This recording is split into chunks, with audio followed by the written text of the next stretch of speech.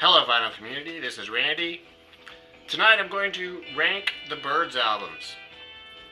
All 11 Byrds albums. I'm leaving out number 12, the Arista album, where Roger McGuinn got back together, I think, with uh, David Crosby and Chris Hillman. Uh, not going to rank that one, but I am going to rank the first 11. I've noticed in the vinyl community lately a couple people showing uh, the Byrds' greatest hits album. So I figured I would uh, try ranking this album, these albums for you. So uh, before I start ranking them, I'm going to uh, tell you what they all are. Uh, so the first one, Mr. Tambourine Man, released in June of 1965. The band members at this time were Mike Clarke on drums, David Crosby vocals and guitar, Gene Clark on vocals, uh, Chris Hillman on bass, and Jim McGuinn on vocals and guitar. Uh, the big hit off of this album, of course, is Mr. Tambourine Man. The next album is Turn, Turn, Turn, released in December 1965 with exactly the same band members. No change. The next album, Fifth Dimension, July of 1966. Gene Clark has left the band by this point. He, uh, were, they were evidently uh, touring, and he did not like flying. Um, I read somewhere that he had seen a, a plane crash when he was very young, uh, and he did not like flying. And I guess he was on a plane, and he just said that he couldn't fly. He had to get off, and uh, uh, I guess Jim McGuinn told him, if, if you can't fly, you can't be a bird. So, uh, so he was out. the band at this point. The next album, uh, Fifth Dimension, sorry, Younger Than Yesterday, uh, in uh, February 1967. So from June of 65 to February of 67, they released four albums. This album is psychedelic. Back cover there. The next album that was released was uh, Columbia decided to release a greatest hits album. This is the one that I've seen people showing lately in the VC. It's a great album, even though I have all the other albums. I I listen to this one sometimes because I like other hit songs, and I really have not grown tired of any of them. Uh, after that, oh yeah, sorry. After that was Notorious Byrd Brothers in January of 1968. So there were more changes by this time. Uh, Mike Clarke was out as the drummer. He was replaced by Kevin Kelley. David Crosby was out. Uh, he wasn't replaced by anyone. He was simply asked to leave uh, by uh, by uh, uh, Roger McGuinn and Chris Hillman. He had been known as Jim McGuinn up through the first four albums, and then I guess he had, uh, uh, due to his uh, religion, he changed his name to Roger McGuinn, starting with Notorious Byrd Brothers. So there's essentially three band members on this album. Even though there are some David Crosby songs, and they really are some of his best songs, Draft Morning, Dolphin Smile. But he is no longer officially a member of the band at that point. Next album, Sweetheart of the Rodeo, in uh, August of 1968. They uh, weren't, found it didn't work well as just a trio, so they added Gram Parsons. Uh, he sang uh, three songs on this album You're Still on My Mind, Life in Prison, and Hickory Wind. Originally, when they recorded it, uh, his vocals had also been on um, uh, The Christian Life and 100 Years From Now. Uh, his vocals were removed and uh, Roger McGuinn replaced his vocals on that. I read two different things. One one uh, thing said that his vocals were replaced because there were some legal issues. Uh, Lee Hazlewood had signed Gram Parsons, I guess, to a contract, and there were there were some problems with that. But uh, then also it sounds like maybe the Byrds management didn't want to have six of the songs in this album sung by, I guess, the new guy. So anyway, that was what happened with that. They uh, toured and um, uh, uh, were in England. I guess Gram Parsons decided to stay in England with uh, Mick and Keith, and uh, the Byrds toured on without him. So he was out after that one album. The next album, Dr. Byrds and Mr. Hyde. This one is released in March of 1969. It's basically a whole new band at this point. Uh, they've added Clarence White on guitar, Gene Parsons on drums, and John York on bass. So Roger McGuinn is the only original member at this point. Uh, after that, someone who was involved in their management released um, the Byrds pre-flight sessions, which were some very early recordings. I don't think this is exactly the album. This is one that came out just a few years ago, I think on Sundazed. This is a two-record set. Uh, I'm not really sure what that original album looked like, but this is a, a good compilation of some of their early uh, singles and demos, things like that. I also won't be ranking that one. Uh, the next album, Ballad of Easy Rider, November of 1969. This uh, they go back to uh, singing Dylan songs here. It's all over now, baby blue. Is on this one. Uh, the next one is Untitled. As you can see, I didn't. I bought some of these albums used. Uh, White's with his name up here. I really, I wish he hadn't done that. Uh, uh, the record really sounds good. This is a gatefold. This is a two-record set. This is uh, sort of an unusual album. That the first record is a live concert. Uh, so sides one and two are live, and sides three and four are new studio recordings. Next album after that, Untitled, was uh, September of 70. Byrdmaniax, June of 71.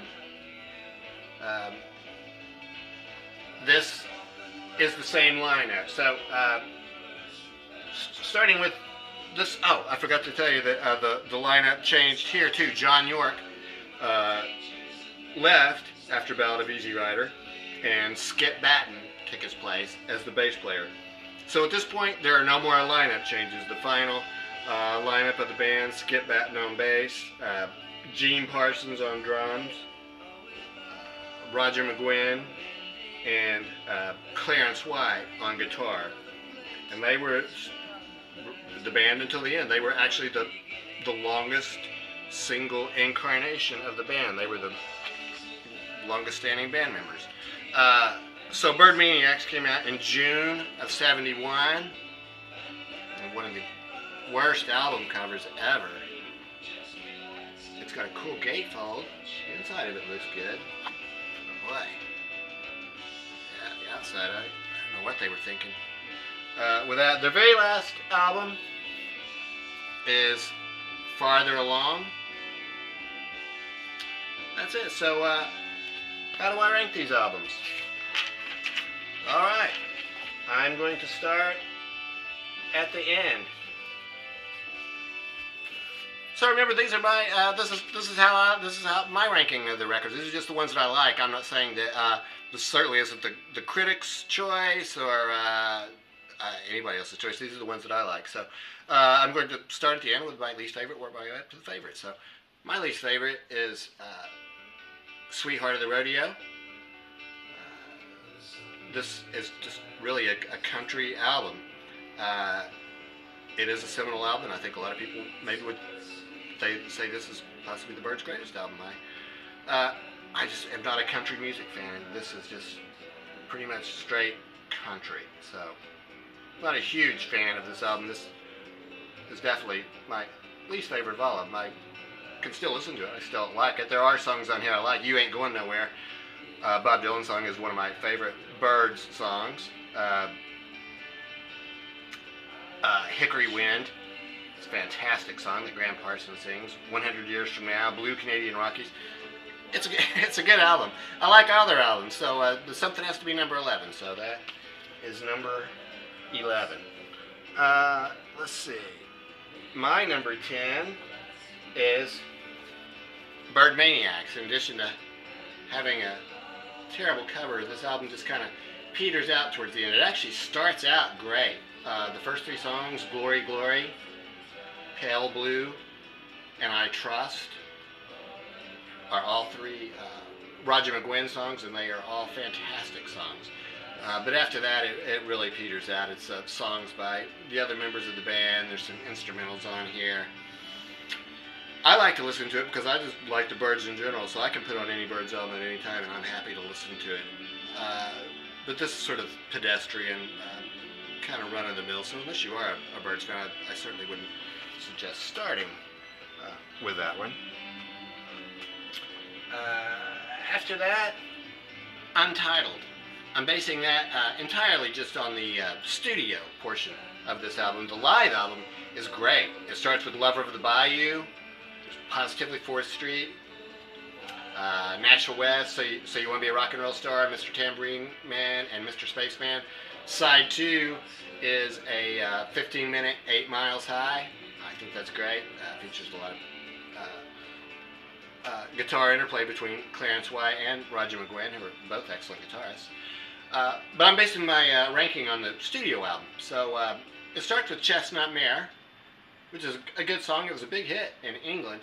Um, it's got some other songs on it that I like, but uh, once again, kind of like with uh, Byrdmaniax, it's it's for a for the real Byrds fans, kind of laid back. I mean, this is these albums are hippie. These are these are hippie albums. These, these bands were you know, I would say these were this band here, this incarnation of the Byrds was, uh, you know, one of the first jam bands. They came out and played long songs like this 15 minute, uh, you know, Eight Miles High. So uh, they're laid back, but they're, you know, might take a little getting used to. My next one, uh, this would be number A is Farther Along the very last album. I love that cover. Well, I don't like this cover. This is really bad shape. I got this album used. Uh, but if I had one in good shape, I'd really like that cover. Shows the band members on the back. Uh, I think I mentioned something for the last album about hippies. That's a hairy band right there. Uh, this album has some really good songs on it, though. Tiffany Queen is a fantastic. Starts the album. It's a rock and roll song. Uh, Farther Along is just a, a, a, great song with some really good words. Uh, this album also features the last of the Byrds' um, canine songs. The Byrds' canine trilogy has uh, Bugler, which is a fantastic song sung by Clarence White about his dog. It, you know, it's maybe a little bit maudlin, but uh, I still like it. I really like it. Yeah, if you're a dog lover, I would highly recommend that one to you. Bugler. Uh, the second side also has some good songs on it. Uh, uh, Antique Sandy, I think, is really fantastic. You know, some of it gets a little bit, you know, they do this version of So Fine, which really is not uh, too good. So, uh, like I said, it's kind of like a, they could have combined the best songs from Byrdmaniax and this one, I think, and had a really good album. Uh, next, for me, is going to be, uh, yeah, Turn, Turn, Turn. The second album.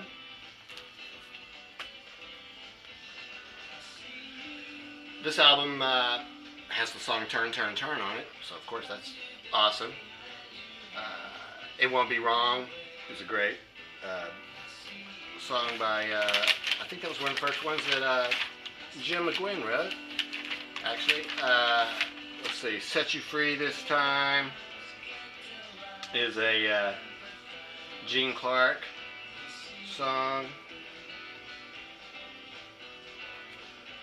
Um, yeah, The World Turns All Around Her. If You're Gone. Those are the Gene Clark songs on here. This album also is interesting because Jim McGuinn on the back of it is listed as leader and guitar. I've never seen that for any other band where the guy is actually listed as the leader. But it was it was his band, I guess. He was the leader. Uh, so yeah, this is a uh, good album. Um, but there's really no hits on here other than uh, Turn, Turn, Turn. So I do like the Gene Clark songs on there. Okay, so that was uh, number seven. Number six is Mr. Tambourine Man. Their very first album. At this point, all these albums are just so great. I mean, you, you just can't go wrong with any of them. Uh, this starts out with Mr. Tambourine Man, then uh, the Gene Clark song, I'll Feel a Whole Lot Better. One of their best songs. Uh, Bob Dylan, Spanish Harlem Incident. Uh, yeah, You Won't to Cry. Yeah, what else did uh, Gene Clark? yeah, I'll Feel a Whole Lot Better. Yeah, Here Without You. I Knew I'd Want You. you Won't Have to Cry. That he wrote with Roger McGuinn, and It's No Use. Uh, Here Without You is one of my favorite bird songs. I uh, wanted to mention there's a fantastic cover version of that song by uh, Chris Stamey and Peter Holsapple on their Mavericks album. Okay, so uh, yeah, so that is Fifth Dimension. No, what am I saying? That's Mr. Tambourine Man. That's number six. Uh, my number five album is Ballad of Easy Rider. Once again, this is that hippie phase of the band, and um, this is really the incarnation I like best. This is John York on bass. This is before Skip Battin came along, but still very much the same vibe here. Uh, Peter Fonda wrote this poem on the back of it. I, uh, uh, Ballad of Easy Rider, I read somewhere that uh, Peter Fonda said that his, uh, the characters in Easy Rider, uh, Captain America and, uh, and Billy were based on, um, Captain America was the, was Roger McGuinn and, and Billy was David Crosby. They were based on them anyway. So Dennis Hopper would be David Crosby and Peter Fonda would be uh, Roger McGuinn. So I guess, it, you know, loosely based, I suppose. Uh, this album, though, uh, starts out with Ballad of Easy Rider, which is a fantastic ballad. This has number two in the Dog trilogy, Fido, which is a uh, song by uh, John York about a, a, dog, I guess, that came into his hotel room while they were traveling. Uh, also has Oil in My Lamp and Tulsa County, which Tulsa County is a, a country song that I do like a lot. Starts out with Jesus is Just Alright on side two. They're back to Bob Dylan with It's All Over Now, Baby Blue. Uh, there Must Be Someone. Gunga Din, Deportee. This is a strong album. This is this is a strong album. Is, it's really good. Uh, highly recommended to you. Okay. Uh, number four. Fifth Dimension.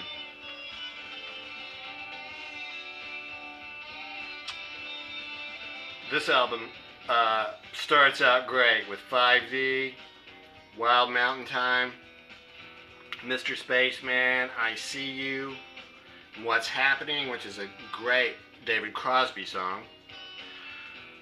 My only problem, the only reason this album is not ranked higher is because the last song on side one, I Come and Stand at Every Door, it's a really depressing downer song about a, a kid who's, I guess, been a victim of war. So uh, I would excise that song. Uh, Eight Miles High opens side two. And then they do Hey Joe after that. Captain Soul, John Riley, and 242 Slack, uh, Foxtrot. So um, this album is, uh, the first side's great. The first couple songs of side two, but it's a little bit weak. After that, Uh, my third favorite, Younger Than Yesterday. Starts out with So You Want to Be a Rock and Roll Star? Have You Seen Her Face? Renaissance Fair Time Between. Everybody's Been Burned is on here. David Crosby song. Thoughts and Words. Mind Gardens is on here, which is another uh, David Crosby song, I believe, and I think it's very cool. Uh, back to Dylan again with My Back Pages. It ends up with uh, The Girl with No Name and Why.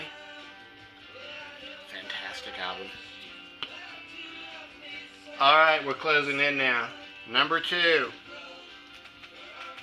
Notorious Byrd Brothers.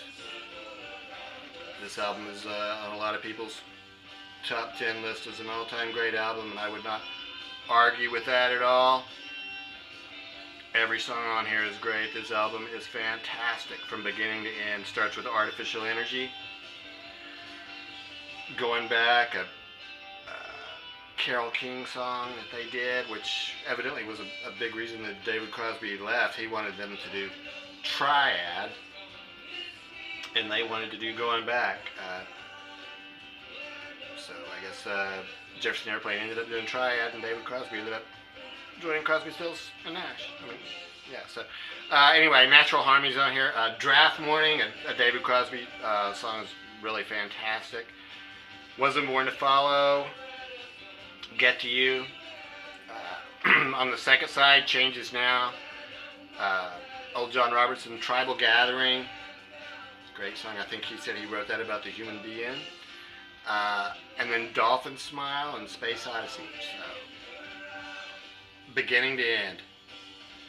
Great. Great album. My number one favorite Byrds album. Dr. Byrds and Mr. Hyde. Once again, just fantastic from beginning to end. Starts out great with This Wheels on Fire. So I guess that was a, a Dylan song that was co-written, I guess, with someone from uh, the band. After that, uh, Old Blue, the first song in the Canine trilogy. This is uh, Roger McGuinn singing this one. Uh, Old Blue. So there's three dog songs sung by three different members of the band. Old Blue's a great song. Uh, Your Gentle Way of Loving Me, Child of the Universe, fantastic psychedelic song. Nashville West, instrumental bluegrass song. Drugstore Track Truck Driving Man, uh, cool song. Joan Baez sang that at Woodstock. Uh, King Apathy 3, Candy, which was a from a, a, a, movie, I guess, called Candy. Uh, my, if I had to choose a favorite Bird song, Bad Night at the Whiskey, which is a rock and roll song, and it's just great. This album is great because it has this psychedelic rock on it, but then it has this parts that go to country music too. Uh, so you can sort of see that on the back. They've got the, they're in the spaceman outfits, and they're down there riding horses.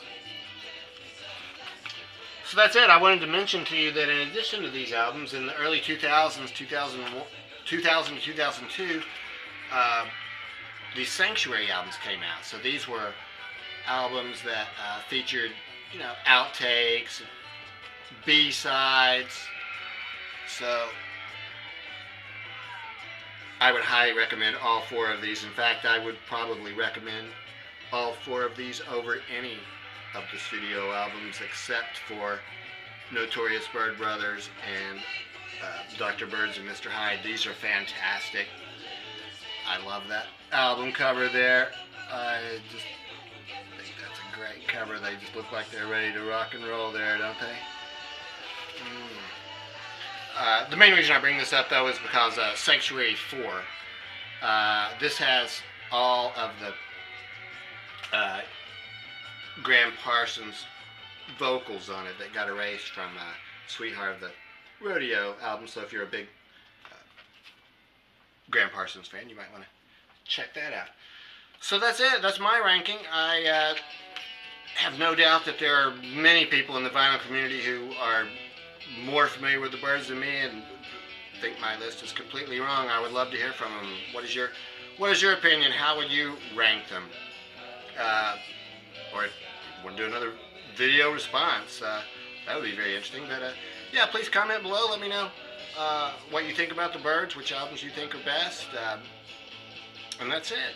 Um, I'm going to uh, close here with uh, one last clip from um, the Byrds. Uh, uh,